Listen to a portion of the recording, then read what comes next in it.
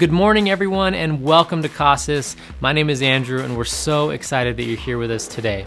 Now, our mission is simple we want to lead spiritually disconnected people into a life giving relationship with God.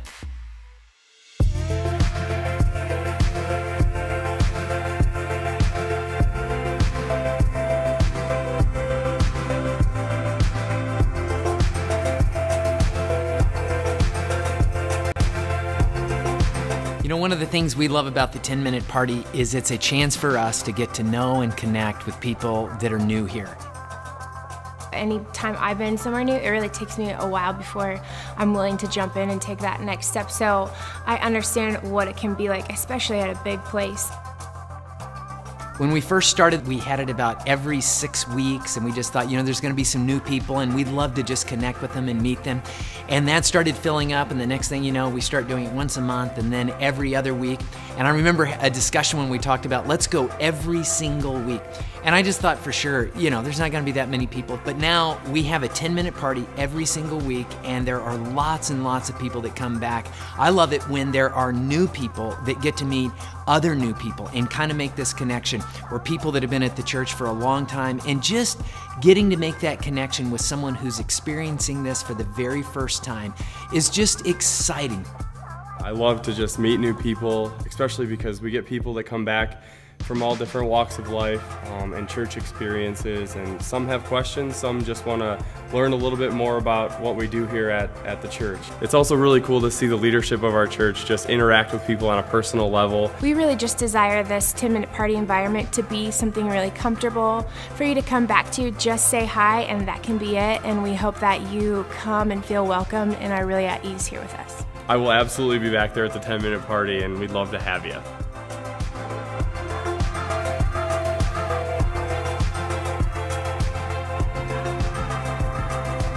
Well, good morning, everybody. How you doing today? Doing good? Good. Uh, well, my name is Andy. It's great to have you all here this morning. If you're a guest with us here today, we're so glad that you came. And actually, you'll notice in the uh, handout that you received, is a blue card. If this is your first or second time here, could you take that blue card and fill it out? Then a little bit later in the service, when the offering plate comes by, just feel free to throw that uh, right in there, and that's our chance to kind of connect with you. That'd be great. Well, I thought today would be a great day to just start off with some scripture that kind of speaks to uh, kind of the heart of our church and ultimately why we worship. And so this uh, scripture comes from uh, 2 Corinthians 4 uh, cha- uh, verse 15, and it says, And as God's grace reaches more and more people, there will be great thanksgiving, and God will receive more and more glory. That is why we never give up. Though our bodies are dying, our spirits are being renewed every day. For our present troubles are small and won't last very long. Yet they produce for us a glory that vastly outweighs them and will last forever. Is that amazing? Just a great, great thought, and the reason that we ultimately come together uh, to sing as a community. So, why don't you stand up, turn to the people around you, and say hi this morning?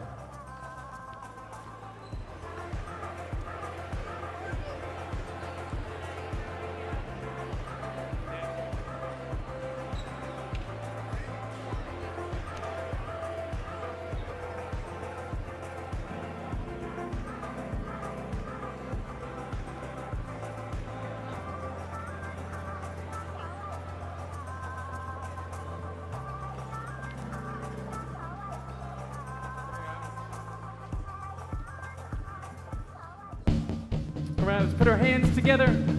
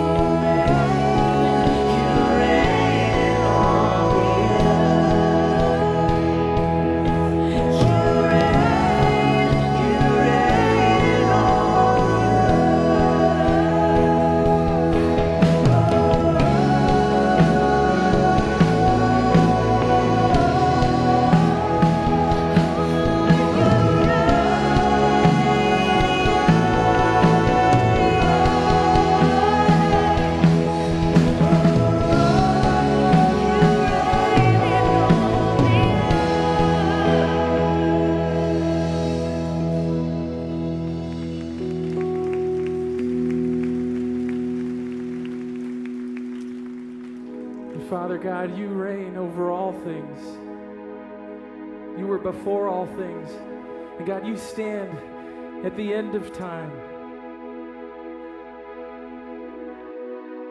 You've created all things.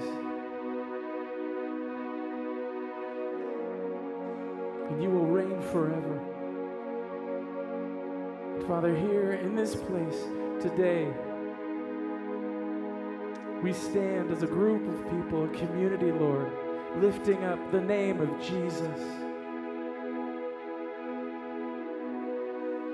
And it's the reason we're here that for all time we will sing, Worthy is the Lamb who was slain to receive riches and honor and glory, goodness forever. The God, you created a way through Jesus for each and every one of us. And we worship today at the foot of the cross. Lord, we could do none of this ourselves, but we rely wholly on you, Father. We can't understand. Your righteousness is unthinkable. Your holiness is incomprehensible.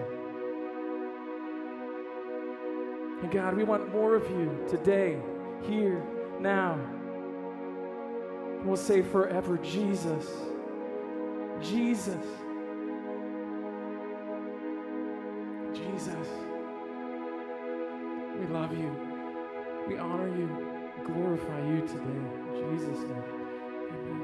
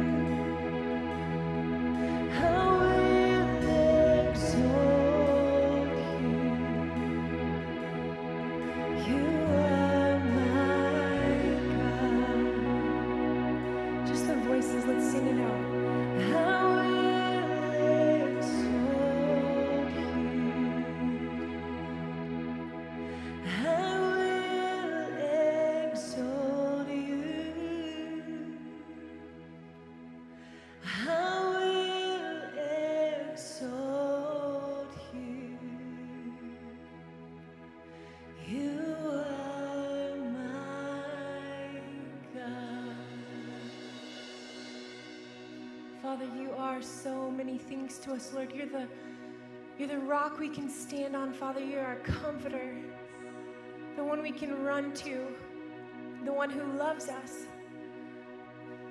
So many things, God. You fill so many needs in us, Lord, and we just thank you for that. We lift you up, we exalt you. God, be blessed in what we bring to you today. In Jesus' name, amen. May have a seat.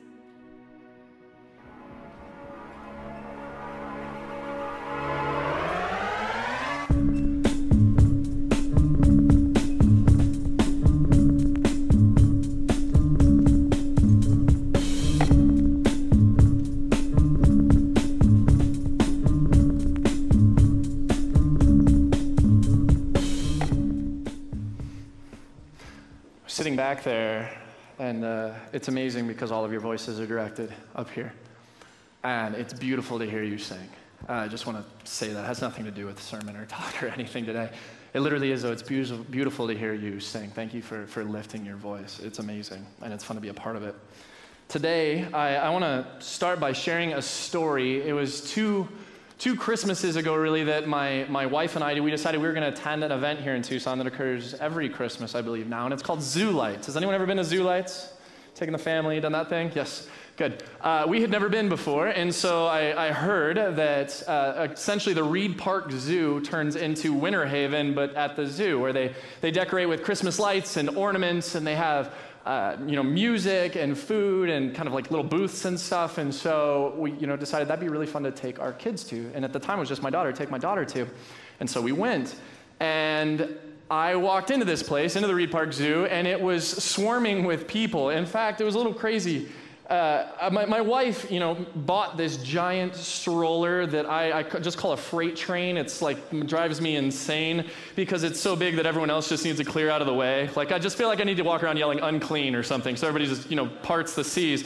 And and so I, I felt much like I did because this night was so busy. Uh, like you know, if you've wandered into Costco on a Saturday on accident, like you're going to be stuck there today. There's people still walking around in Costco right now uh, from yesterday. It's crazy. And so we, we're making our way through this place, you know, looking at everything. And my daughter's so excited. She's running from thing to thing, having a great time. And we finally come to the very last, uh, you know, exhibit that we'll look at, and it's the lion enclosure. And so she, you know, we walk up to it, and the, the zoo has this thing, it's like a cave type deal that you walk in, and then there's the, the glass that's right in front of you.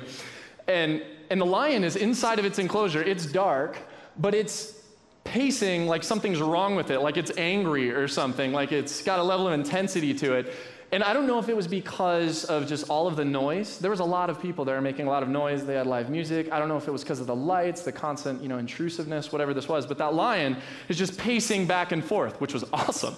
And so we push ourselves, you know, we're right there up by the glass, and my daughter is, you know, got her hands on the glass and is just looking at this thing. When all of a sudden the lion stops and it looks at my daughter and it crouches down and it lunges and jumps forward to attack her. There's glass. But none of us thought about that at the moment. Like everyone screamed. And what we saw was a lion's face, mouth wide open, hit the glass, paws in the air, like jump through the air. Paws hit the glass, and its body followed, and then it kind of fell off, slunk over, and continued pacing. Everyone screamed. It was terrifying. And the reason why is for maybe a fleeting moment. Well, one, it's just startling, but for a fleeting moment, it's like you forget that there's even glass there. It's like for just a moment you forget that this is all okay, we're at a zoo and this is gonna be fine, and you just see this lion jumping forward and you realize it's insane. That's why everyone screamed. And then I look down at my daughter and I'm waiting for the traumatic moment to unfold. You know, we can never go to the zoo again and she hates lions and you can't say the word lion or she starts crying, that kind of thing.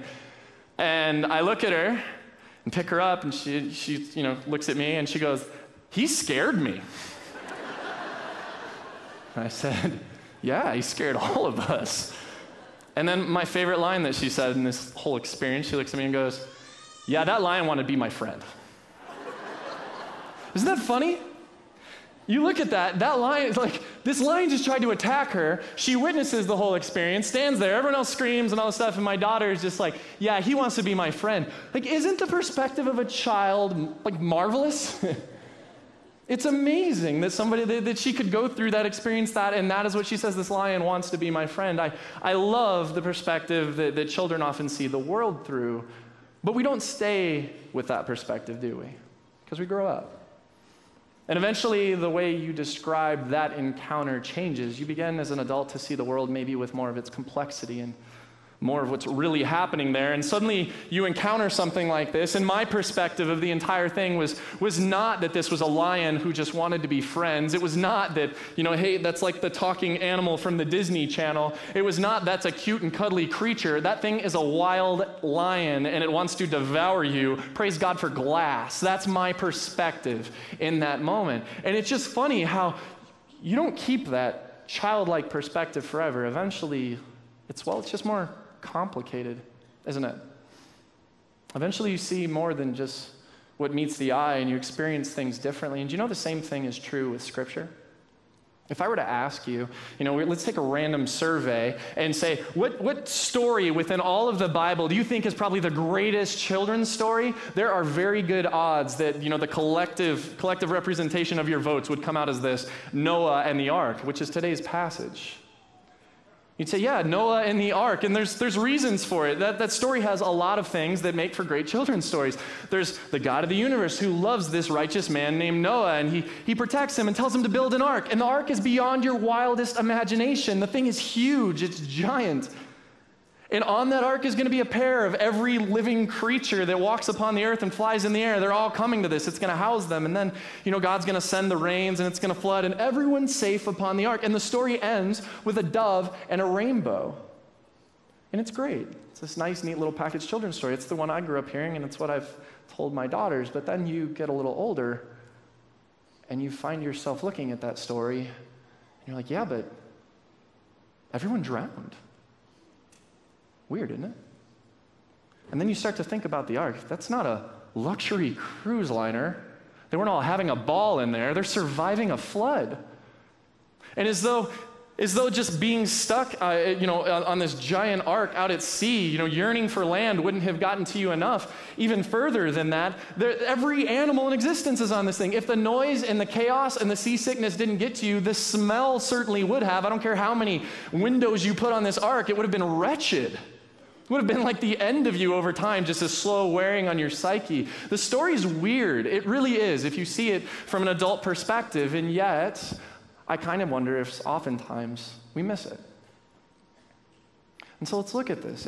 Let's look at it in a way that allows for the complexity of all of it. And let's try to make sense of this passage this morning. And ultimately, we're going to continue forward in this series called Misguided Men. And what I want to point to is a moment in human history where absolutely everything went wrong. Where absolutely everything went wrong, and God does something about it. And as we kind of journey through this grand story that is Noah's Ark, there's really two things. If you miss everything else, that I hope you walk away with. And one is this your life is bigger than you think. Your life is far bigger than you think. And number two, there's a God who is all about the rescue. There is. There's a God who's all about the rescue. And I think at the end of the day, you're going to discover that Noah's Ark isn't just a story, it's about changing your life. So if you have your Bibles, turn to Genesis chapter 6. And uh, let me give you a little background on this moment as you kind of turn there. Just hang out for a moment. I want to walk you through the creation narrative up to this point. And, you know, I know we've been covering it and a lot of us had heard it, but humor me for just a moment. God creates the entire known world. He creates mankind, He creates all the animals, the plants, everything in existence, and He looks at it all, man's relationship within it, and He says, It is good, it is complete, it is full and perfect. It's great. And at some point in time, you know, man has this perfect relationship with God. He's centered on in who God is. It's, it's this direct connection, so to speak. Man becomes discontented, yearns for something else, and at some point in time, we choose other. And we break that relationship with God. We violate it, so to speak. And suddenly, where there was once intimacy, there's now separation. Where there was once this personal notion of God and man, there's now separation between the two. And, and, the, and brokenness enters the world. And you know this because vocabulary suddenly enters the narrative in the book of Genesis that didn't exist there before. In Genesis chapter 3, we suddenly hear words like this, and they felt ashamed. Can you imagine? They didn't even have a word for that. They didn't even know what that feeling was. It hadn't existed to this point, and suddenly brokenness enters, and you have vocabulary like shame that's there. Then you get to Genesis chapter 4, which is what uh, Glenn talked about last week, where two brothers essentially go to give sacrifice. They're trying to, to reach out and connect with God, more or less. One gives of ultimately his heart, gives of himself. The other one kind of meets the least common denominator as far as an offering to God is concerned. God smiles upon one, he looks down upon the other. And the, the brother whose offering wasn't acceptable is filled with such scorn and ultimately hatred that he murders his brother. Think about this. This is just four chapters in from the, from the creation of it all. Isn't it funny how brokenness compounds? Do you notice that? That our brokenness, as we live out of it, we tend to affect the people around us in ways that fosters their brokenness, and we create more and more problems, and it grows and it grows, and it just keeps spiraling, and this sort of thing just happens. Well, as you go from Genesis chapter 4 and you move forward, that's how life continues to work. And eventually, the world gets to a certain spot where God looks at it, He observes the landscape, and He makes a very bold statement about just what is, and then He makes a declaration about what He's going to do. And so, Genesis chapter 6, starting at verse 5 the Lord saw that the wickedness of man was great in the earth, and that every intention of the thoughts of his heart was only evil continually. God surveys the landscape and essentially says it's all evil. That all that's happening, all that's happening is wickedness, all that's happening is evil, and it's playing itself out around him. It's like the brokenness is compounding, it's growing. This is existence, this is life. God declares it. And then verse 6 And the Lord was sorry that he had made man on the earth, and it grieved him to his heart. So the Lord said, I will blot out man whom I have created from the face of the land, man and animals and creeping things and birds of the heavens, for I am sorry that I have made them. But Noah found favor in the eyes of the Lord. And essentially, what you're getting from this passage, God surveys the landscape. He sees basically this is the environment, this is the way it looks, and humanity is kind of spun out of control as far as this goes. There's none who seek for good. There's nothing here that, that ultimately is, is good. It's all just kind of evil and brokenness playing itself out all over the place. And, and what God is doing in the Hebrew language that's used in, in verses, especially 7 and 8, as it kind of moves forward, is this it's like God is looking at it all and He says, I made this, I'm responsible for it then I'm going to do something about it. It's like this cause and reaction thing as God looks out, surveys it all, and says, okay, something must be done, and God decides that He's going to flood the earth. You know, we've heard the story.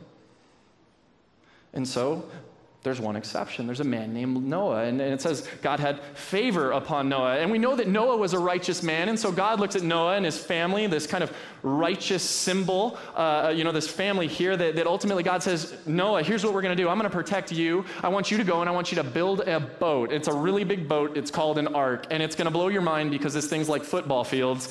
And not only are you going to build this, which probably doesn't make a lot of sense to you, but ultimately, every animal is going to come to this ark. They're going to get on the thing. And one day I'm going to flood, I'm going to send the waters, I'm going to send the rains. The flood is going to come, and you and your family and all the animals within the ark will be spared. And that's what's going to happen. And so Noah begins to build the ark, and God floods the earth. And, and so I know I'm paraphrasing a lot. This is four chapters long, and we've got a place to get to. But so God floods the earth, and Noah's floating, you know, with his family upon the ark. Unless we, at this moment in time, begin to see this story as a lion who simply wants to be our friend, I want to read chapter 7, starting at verse 21 with you. And all flesh died that moved upon the earth birds and livestock, beasts, all swarming creatures that swarm on the earth, and all mankind. Everything on the dry land in whose nostrils were the breath of life died. And he blotted out every living thing that was on the face of the ground man and animals and creeping things and birds of the heavens. They were blotted out from the earth. Only Noah was left and those who were with him in the ark. And the waters prevailed on the earth 150 days. Here's the paraphrase if you weren't on the ark, you drowned. Everyone dies. It's a sobering moment, isn't it? You know, when we tell this story, we gloss over this part. We are like, yeah, and then everyone, you know, he took care of that, but Noah saved and all this other stuff. Rainbow, we're getting to a rainbow. And we often skip over this spot right here where, where literally all of humanity that isn't on the ark drowns. They perish. And, and it's, I, I understand why we skip it. It doesn't make for a very good children's book, does it? It'd be some pretty gruesome illustrations if you were to walk that out and no one would show that to their kids. It'd be weird. So I get why we skip it, but I don't want us to this morning. I want us to actually just sit on this for a moment. I want us to understand and feel the weight of the impact that happened right there. And the reason why is because ultimately I think God understands our hearts. And I think God understands our, our mind, the way we think about things, the way we approach this life. And ultimately, at this moment in time, in the grand story that is Noah and the ark, I think God is speaking to a question that every human being for all time asks and has asked. And it's this why doesn't God just erase evil in the first place? Everyone asks that. You don't have to be a believer uh, in God to ask that. Just by pondering the very notion that there might be a God who exists out there and, this earth exists the way it does, everyone asks, well, why would this thing happen? Why does God not just do away with evil in the first place? I thought it was good. You know, one of the number one things in, in any conversation that I have with a person who's Christian or not, as we begin to talk about God and just existence of God, is this. People always look at me and say, What about Hitler? Right? What about a Holocaust? Where's God in that? Why would God allow a man like Hitler to exist? Why didn't God just erase Hitler from the face of the earth instead of these horrible atrocities? And sure, when you look at genocide and you look at some of these different things that have occurred over time, it, the, the impact of evil is so large and so grand that we all find ourselves saying, why? You know, why would that even happen? Why didn't God remove him from the first place? Well, that's broad, but sometimes it gets personal. You know, there's some of you in here that you haven't just walked through something hard, you have survived it. There's some of you in here that have been impacted by just other people in such a way that I marvel that you've made it. It's an act of grace that you're here. And you look at some of those situations, and if you're really honest, there are moments in your life where you say, Why didn't God just remove that person, that thing to begin with? I was driving in a car with a good friend a long time ago, and we're had a moment of honest conversation, and he was talking with me about how he had been sexually abused uh, a few years earlier. And it was by a guy, and it was by somebody that, that ultimately was responsible, was supposed to care for him, was supposed to train him and teach him and some different things. And it was within an organization that was supposed to foster his livelihood and, and, and you know, his, and him as a, as a youth person and, and all this stuff. And it was terrible. And he's sitting amidst all of his brokenness and he's talking about his peers because he wasn't alone. There were several people that, that had the same moment happen to them. And some of their lives were like breaking apart at the seams and kind of spinning out of control. And, and he looks at all of this and he just, he looked at me and he goes, I just don't understand why, why God didn't just erase him. And in that moment, I didn't answer because I don't honestly think he was looking for an answer. He was a hurting person that just wanted to be recognized, and so I did. But I can answer now. See, I'd point you back to Genesis 6 through 10. And I tell you, God did. You say, why doesn't God just wipe out evil? Why doesn't He just do away with it all? He did.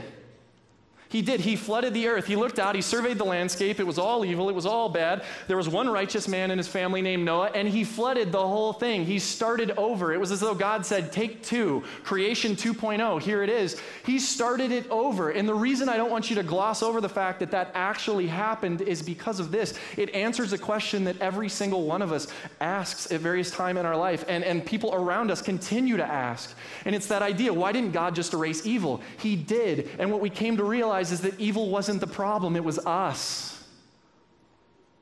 Because you know what happens immediately after the story of Noah and the ark? You have a moment where a son deeply shames his father and a curse is given. Four chapters later, chapter 14, you have the story of Sodom and Gomorrah, two cities of unprecedented evil that, that ultimately eh, you know, God speaks to and judges in that moment. And you look at it, that's four chapters after Noah and the ark. And it illustrates an issue that just by wiping evil out, wiping evil clean, when we ask God to do that, when we say that's what we want, what we really mean in that moment is that God, when are you going to exterminate humanity? Because you can't just deal with the problem of evil, you ultimately have to deal with us. And so, what the flood, what that moment, what the start over points to is that God, from then that point forward, will enter in and deal with us. It's exactly what he does, meets us where we are at in this place. And instead of dealing with evil, he deals with humanity. And there's this beautiful instance. If you have, uh, again, your Bible, turn to Genesis chapter 9. And I want you to imagine something before we read this passage. And the thing that I want you to imagine is this that you have been on this ark, that you're with Noah, that you're, you know, you're part of his family or however this works. You've experienced this whole deal. And suddenly you find the ark resting upon dry land. The flood subsides, the, the survival is over as far as that moment goes. And the doors open up, and you and all your family, you begin to pour out of this thing. And for the first time, you experience that longing once again, realized upon dry land, and you're good and all the animals come out with you and you look and you, you don't, you're not greeted by a world that you have to fit into. You're greeted by a world with virtually no parameters. It's the brave new world. It's creation 2.0 started over. And as you step out of the ark it's essentially laid out before you brand new and it's just you and your relatives and all of these animals uh, that, that are essentially getting to ask the question what do i do with life now? I get to start fresh. How many of us have longed for that moment or you get to start over. As though there were no encumbrances on this earth, and you just got to ask the question completely raw and just right there who does God want me to be? What is this life supposed to look like? And you step out into the brave new world, and as they do, God begins to speak. God begins to speak. Genesis chapter 9, verse 1 And God blessed Noah and his sons and said to them, Be fruitful and multiply and fill the earth. Now, this should remind you of something, doesn't it? Because he's quoting straight back from the beginning of Genesis with Adam and Eve. When, when God essentially presented the garden to Adam and said, This is yours, it's all here, go live in it, dwell in it, live to the fullest of that which I've created you to be, be fruitful and multiply, fill it. This is what he tells him. And so immediately we're reminded back of that situation. And what it tells us is that for all of Noah and his descendants and everybody that stands there, it's like God is pointing out to the new creation. And he's saying, Take two, be fruitful and multiply, go. And ultimately, from this point forward, God is going to point all of Noah and his, and his descendants, but ultimately us because we live in this creation, don't we? Because we live in this reality, because we exist post flood, we exist in creation 2.0. He speaks to three relationships that ultimately he has created every human being to experience and to have in the fullness of what life in this place should be. And the first one is this we were created to have a relationship with creation itself. Verse 2 The fear of you and the dread of you shall be upon every beast of the earth, and upon every bird of the heavens, upon everything that creeps on the ground, and all the fish of the sea. Into your hand they are delivered. Every moving thing that lives shall be food for you. And As I gave you the green plants, I give you everything. Again, isn't it reminiscent of the garden with Adam? You hear that, and it's, it's again, it's back to creation. God, God looks at Noah and he says, This is all yours. And, and I give you power and I give you dominion. You, you have that over all of creation the plants on the ground, the animals with it. It is yours. Now, don't get me wrong. If we were to just read these two verses, verse and two, verses 2 and 3, it'd be really easy for us to just say this God gives us dominion and he gives us power over creation, and so we can do whatever we want. You know, we, we're over it. We can do whatever we want. But to do that and to say that is ultimately missing something very important entirely. And I think a, a, quote that will be fitting in this case, as we talk about mankind was meant to have a relationship with the creation itself, is from Spider Man. The character Peter Parker, you know, the place, he is Spider Man, and his uncle goes to him and he says, Peter, with great power comes great responsibility. It's a quote from somewhere else, but it's made popular by Spider Man. And that is true here. That you have dominion and you have power over creation, but don't miss this. With great power comes great responsibility. And you say, well, what do you mean by that? Let me, let me illustrate. I want you to ponder something for a moment. I want you to think about this. Why did God flood the animal kingdom? I mean, don't get me wrong, we have an answer for why God flooded humanity. We get that, okay? So there was wickedness upon the earth. Humanity was wicked, and the intentions of their heart, all of it was just kind of going south. And so God starts over with a righteous man. We get that. But at the same time, it says that God also flooded. He took the life of every living creature that walked upon the ground and flew with, upon, like in the air. Why did God do that? Had they sinned? Had the creation sinned? Had it committed some horrible atrocity? Was it evil?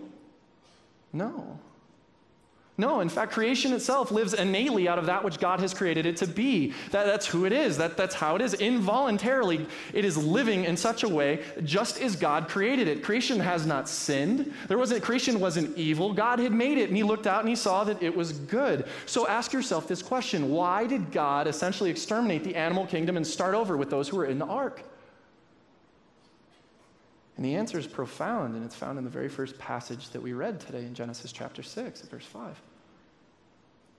God looked out upon the world and he said, The wickedness of man has grown to a spot that every intention of their hearts is evil. And so here is what I will do I will blot out man and I will blot out the animal kingdom. And here's what that tells us the reason the animals were flooded was not because of the animals themselves, but because of mankind the wickedness and the evil of mankind. And what that points to, what that ultimately tells us, is that our choices, that our lives, that even the evil and the good, all of the stuff within us has bearing upon the existence of creation itself. And I'm not just speaking physically, but also spiritually.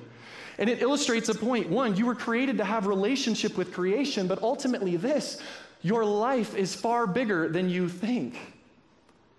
Because your choices and your interactions, they have bearing upon the actual creation itself. And when you think like that, and when you understand that God does, God experiences the flood, puts it out there and says, Never will I do this again, what it points to with us who live now is that we are to protect and to foster and to care for the creation around us. You have a responsibility because your life has bearing upon it, both physically and spiritually. Dominion isn't about just doing what you want. Dominion comes with great responsibility. And so I just want to ask you do you experience that relationship with the creation around you? And this is not me saying, go out and save Mother Earth. This is not me saying, go out and, and fight for creation because of a, it's an entity in and of itself. All of creation proclaims the glory of God. All throughout the Psalms, it's just evident again and again and again about how God's glory just emanates and shines from creation itself. In Romans, it just talks about how everything is proclaiming His glory, and it can be seen. It's like this visible display all around us. We don't protect Mother Earth. No, what we contend for, what we exercise our dominion and power over is to enter into that moment so that it continues to shine, so that it continues to be proclaimed, to proclaim the great goodness and the glory of God, so that all might look upon it who desperately need to see that beautiful, grace filled creator and recognize it. And so we foster it, we protect it. Your life is far bigger than yourself. But there's also a second relationship that God calls us to. And it's this mankind was created to have a relationship with humanity. We were all created to have relationship with humanity. This is God's desire for our life. And here's what I mean by that. Let's continue to read. Chapter 9, starting at verse 4. But you shall not eat flesh with its life, that is, its blood. And what it's saying here is don't eat a living thing. I mean, don't see something alive and just start gnawing on its back, because that's weird. Verse 5, what it's really getting to, what it's pointing to, is, is coming up here. And for your lifeblood, meaning for your very life itself, I will require a reckoning. From every beast, I will require it, and from man. From his fellow man, I will require reckoning for the life of man. And what God is speaking to here is simply this life is precious, and, and, and specifically, human life. God is saying that human life is, is, deeply valuable, that it has this innate value to it. It is absolutely and utterly precious to him. And God is declaring he will protect it. He will require a reckoning for it. So much so that he says, I'll require a reckoning if a man takes a life, and I'll require reckoning if an animal takes a life. Which means if that tiger had succeeded and eaten my daughter, God would have been really upset which makes me comforted. But I don't understand why, and because he's just living out of who he is. And I think the point of this is don't take this too far, It's just this God is declaring that human life is so valuable that in every facet of our lives, in all of life, he will care for it, protect it, and value it. It is priceless.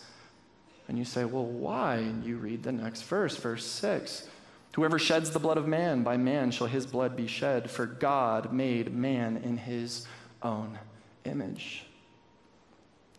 Why is it so valuable? Why is it so precious? Because every human being, everywhere, for all time, is an image bearer made in the very image of the Most High God.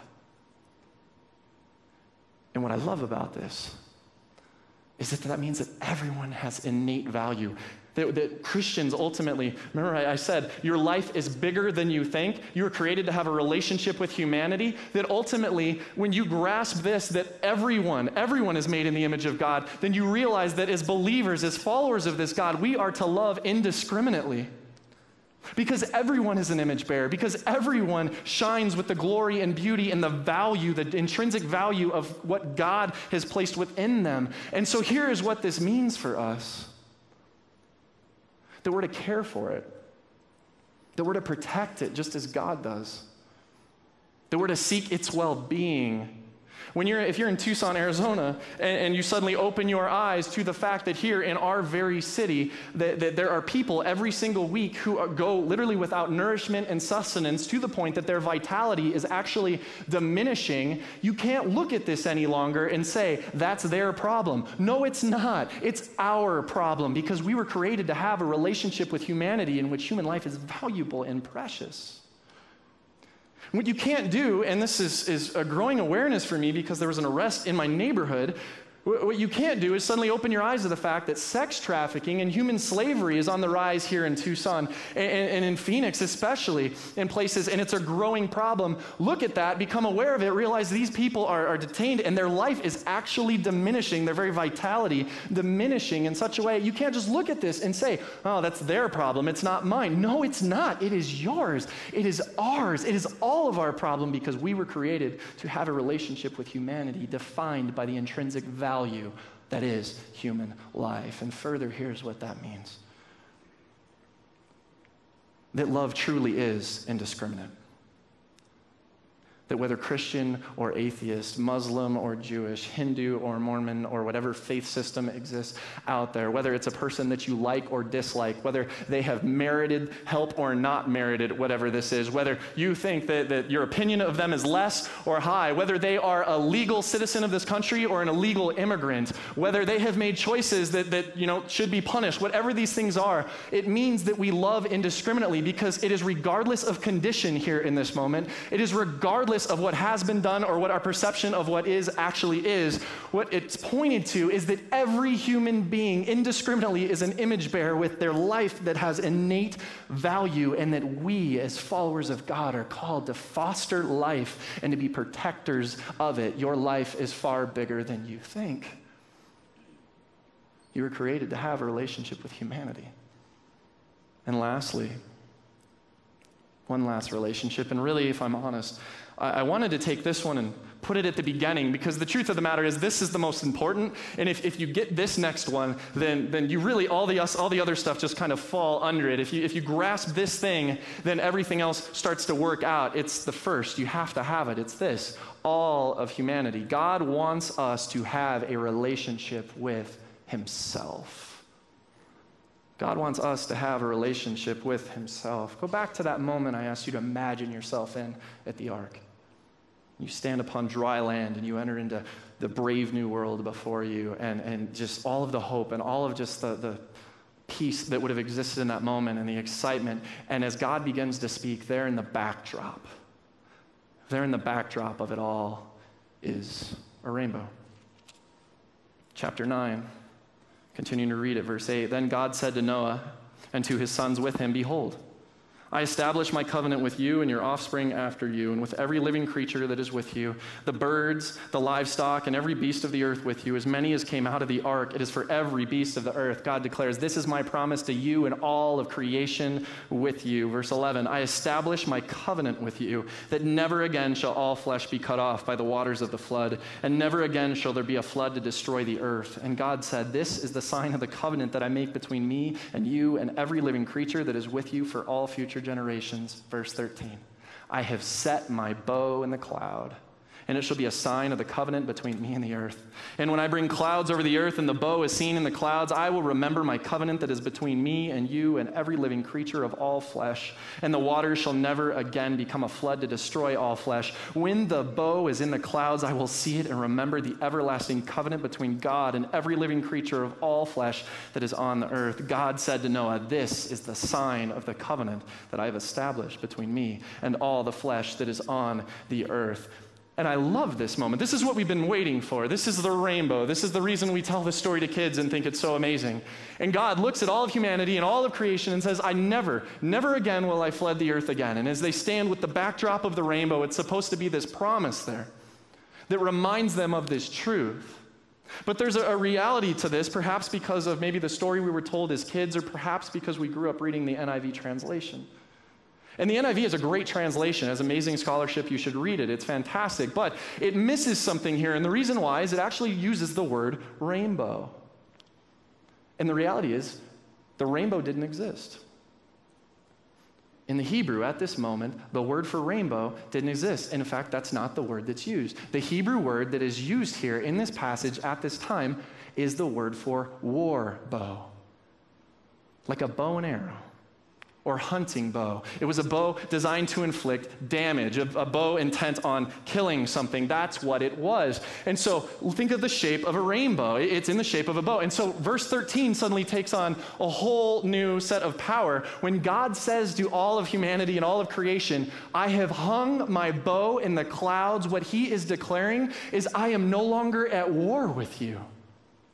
I am not at war with you. I have hung my bow in the clouds. It rests upon the mantle. I am done with it. I am leaving it alone. I am not at war with you. Never again will I flood the earth in this matter. Never again will I operate with humanity in this way. I am not at war with you.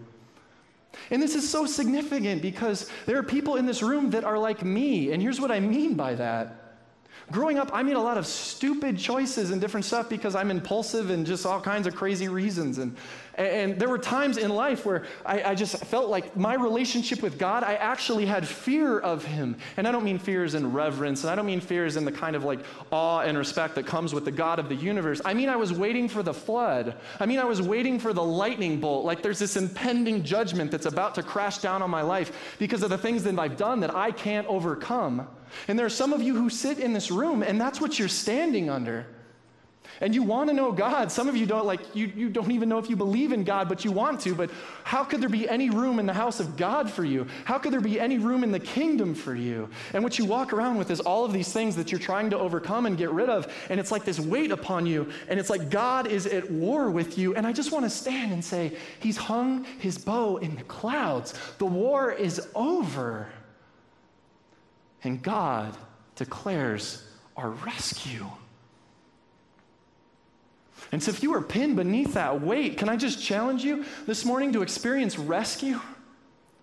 God's not at war with you. He wants to rescue you. Two chapters later, we get to Abraham. God encounters him and ultimately makes a covenant with him where he says, You will be blessed to be a blessing. Meaning this one day through you, through the, all the nations will be blessed. One day Jesus is coming. I'm not standing back, flooding the earth. I'm entering into the mix. I'm not just dealing with evil, I'm dealing with people. I'm dealing with you. And I'm going to change you from the inside out. And one day, the Savior is going to come who's going to change it all. The war is over. The rescue has begun. God's not at war with you. His bow is hung in the clouds. So I ask you today will you allow yourself to be rescued?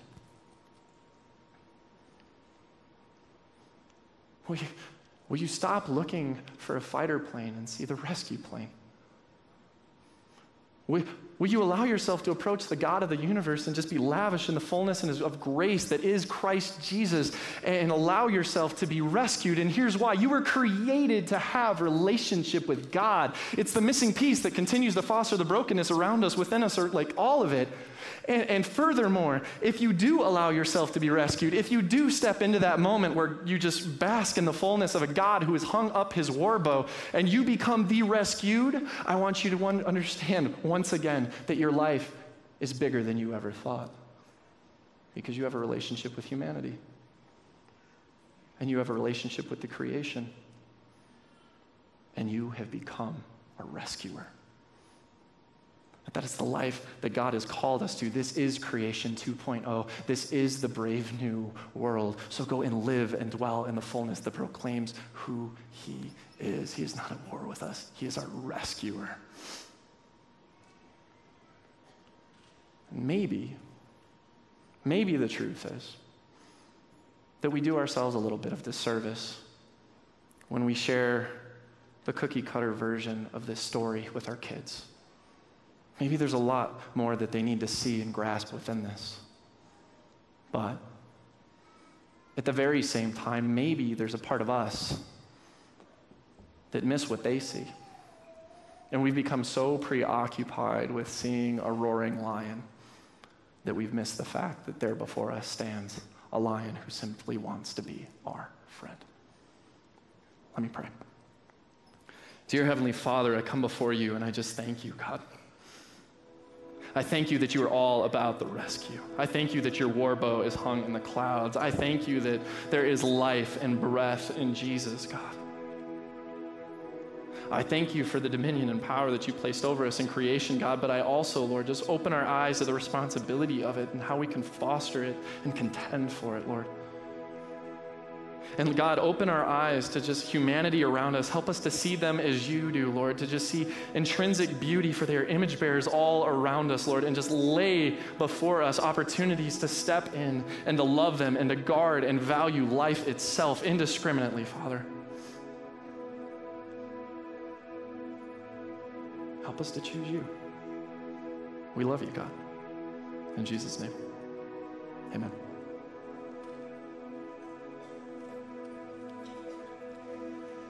You know what I love about what Ryan did was he took uh, a story that oftentimes just seems like a Bible story for kids and brought some depth to what God was really trying to show and tell through that story. And I hope that this week it gives you uh, moments to ponder and reflect on your own relationship with God, uh, wherever that is. And I'm sure that there are some of you that are here this morning, and maybe you're here for the very first time, or maybe it's just the second time. And uh, on behalf of our entire church, I want to just say welcome. And it is a pleasure uh, to have you here, and hope that this was a meaningful a moment and time for you as you got to just uh, worship and be with us here this morning. And uh, there's something that uh, we ask all of our first and second time guests uh, to do. And if you, and if that's you, if you would do this, uh, we would greatly appreciate it. Uh, there was a blue card that was in the handout you were given when you came in. We'd love it if you just uh, fill that out and circle whether or not you're a first or second time uh, guest on there. Uh, Ryan would love to just send you a card this week to just encourage you and uh, give you a small gift just for being here. And uh, if there's something that we can be praying for in your life, uh, would invite you to write it down on this card when you turn it in in a little while. Or we always have people in our prayer ministry room over here, some uh, elders and leaders within our church that would love to just take a moment to pray for you. If there's something that, that you would love to have someone pray for you uh, before you leave here this morning. We're going to take a moment and give God his gifts. And so I'm going to ask the ushers if you'd go ahead and move into place. And I'll just say that, you know, this moment where we give our gifts to God, this is a moment to tithe. That is a moment to respond to the God that we love. It's a moment to further what this church is about. And so if you want to participate in this, I would invite you to do so. And I'm going to uh, just pray for our offering uh, here this morning. So would you just bow your heads for a quick prayer? Father, we just thank you for this moment to reflect on your word. And God, we give you these gifts as an act of worship here this morning. And we pray this in your son's name. Amen.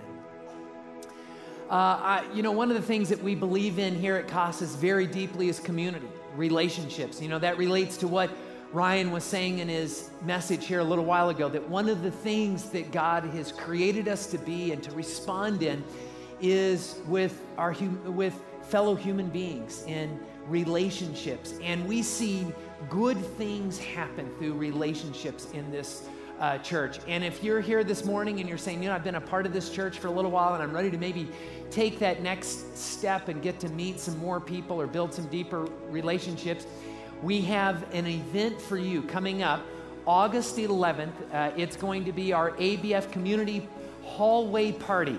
And the reason we call it that is in our education building, we've got a couple of wide, long hallways. And on August 11th, throughout the morning, we're going to throw a semi ruckus of a party uh, over there for anyone and everyone who would like to explore our ABFs. And so I want to invite you to uh, go over there. You'll have a chance to meet the leaders within our ABF communities. You'll get to meet people that are a part of them, and you will get to meet other people that are right where you are, that are saying, I want to I want to go a little deeper in this church. I want to meet some people or become more connected. So, August 11th is uh, the date for you if you want to do that. Then, lastly, uh, I just want to say to all of you who are first time guests here this morning, we would love to give you this gift a book, uh, not this exact book, but we've got other copies of this book that we'd love to give you. Uh, it's one of my favorite books, phenomenal author Tim Keller. And we love to give this book out to first time guests. And one of the main reasons we do that is this book captures the heart and soul of who we are as a church. And so if you're a first time guest, this is one of the best books you could read. It's a great book. And so if you want a copy of it, just come right on back to uh, the 10 minute party, which is right back here, right after this service, and we could would love to give you a copy of that. And the 10 minute party. Uh, any of you who are new to Casas would love to have an opportunity to meet one of our pastors. Ryan will be back there. I will be back there. Uh, Andy and many of our other pastors will be, will be back there. And we would love to just shake your hand and say hi and welcome you to Casas. Why don't you stand and uh, let me just close out our morning with a blessing here. May God keep you and shine his face upon you and your life and your family, and may you dwell in his presence. Amen. Amen. You have a great morning, and we'll see you back here next Sunday.